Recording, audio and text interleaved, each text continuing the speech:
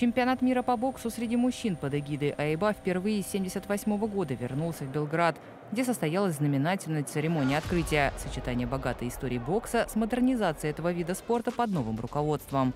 Во время мероприятия зрители могли отправиться в увлекательное путешествие в историю бокса и познакомиться с Кубком Вэлла Баркера, одной из самых знаковых наград в этом виде спорта, который представил вице-президент Федерации бокса Казахстана Бахтияр Артаев.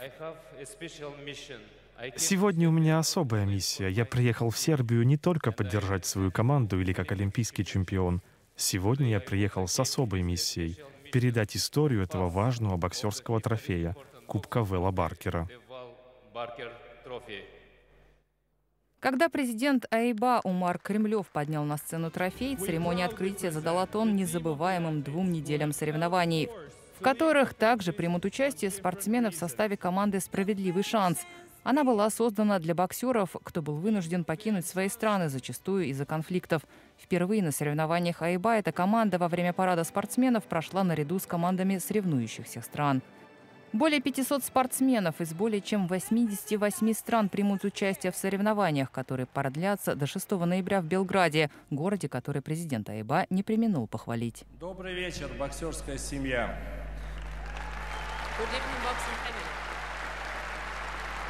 Добро пожаловать на чемпионат мира по боксу. Welcome, Welcome to... to the Boxing Championship. Добро... Добродошли на АИБа светского первенства.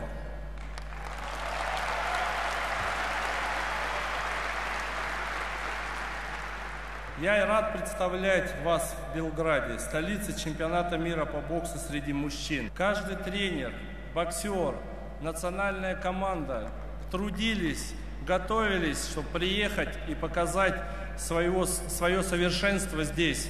Объявляю чемпионат мира среди мужчин по боксу в Сербии открытым.